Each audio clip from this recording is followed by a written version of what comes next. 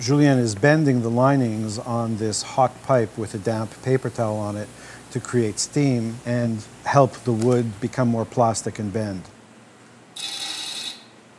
While the linings themselves are fabricated with those little cuts in them to make it easy to bend, it makes for a cleaner, more precise fit when we use heat to help form the part.